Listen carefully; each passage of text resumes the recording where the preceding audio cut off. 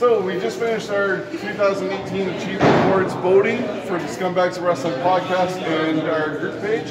And London Vacation was voted the card of the year uh, by our fans. So it was an Why awesome is James card. here? Because that was my idea. I didn't have one. So you guys can fight over it. It's awarded to Smash Wrestling. Card of the year. My personal choice was Super Sh- uh, Showdown 6, but the fans Listen, we're not here to play favorites. I was gonna say they were, they were both good. mostly Yeah. chose. Uh, Like, we can't choose between your children, And you know? we're falling apart again. So, once again, on behalf of the Scumbags Wrestling, thank you for Put a shirt on. Thank you guys for Thank you. a great uh, year of action. Thank you. And We look forward to 2019.